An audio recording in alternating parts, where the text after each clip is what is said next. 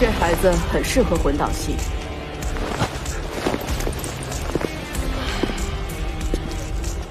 他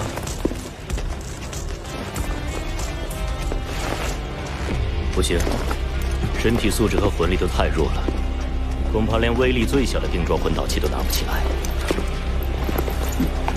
霍宇浩，给他感受一下。一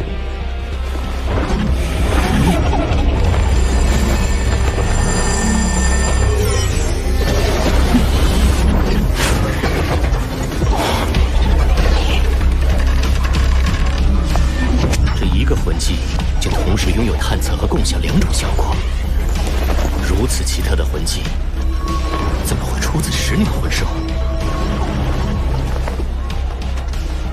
人前，你只能说拥有一个魂技。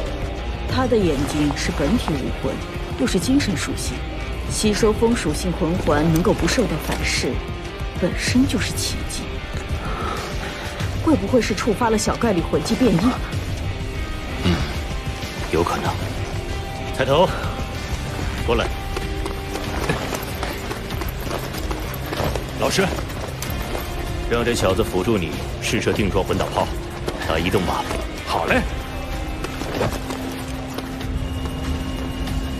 我竭力研究十几年，终于继日月帝国之后，研制出了定装魂导器这种最恐怖的魂导器。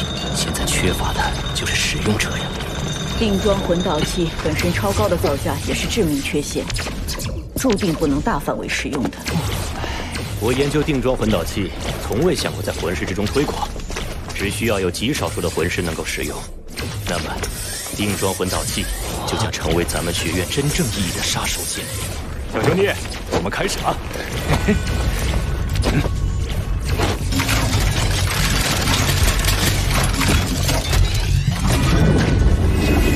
移动吧，发射！